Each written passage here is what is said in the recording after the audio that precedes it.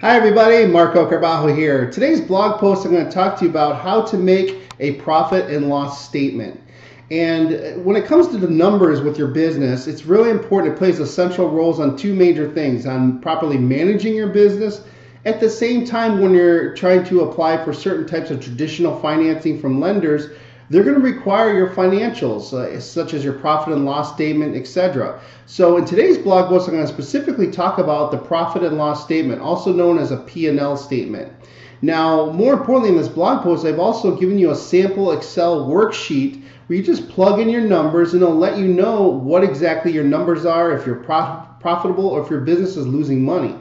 But the power of the P&L statement is not just for uh, managing your business, but it allows you to track uh, your expenses and it allows you to know what adjustments you need to make as a business owner so you're profitable each and every month or at the end of the quarter. So the P&L statement is an essential part of your business as well as some other financial numbers we're going to go to in the next upcoming uh, posts here at businesscreditblogger.com.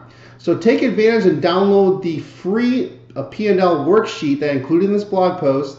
If you'd like some more tips and information on business credit and obtaining funding for your company, be sure to submit your name and email at the bottom of this blog post. So with that, make it a great day. We'll talk to you real soon.